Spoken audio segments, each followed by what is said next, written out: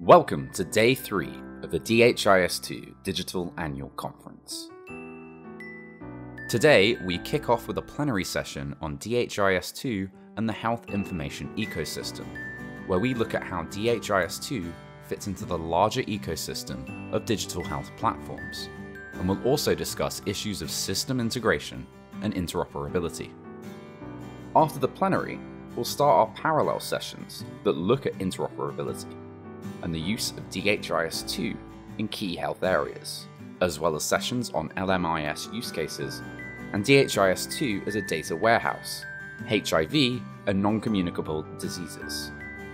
We'll also have an extended session on DHIS2 for education, with updates from ongoing deployments of DHIS2 to support inclusive and equitable education for all.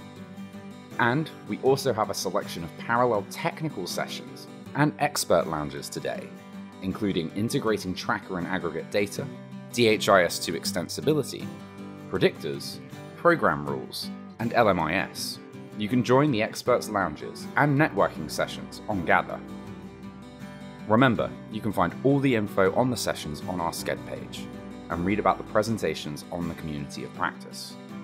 We look forward to seeing you at day three of the conference.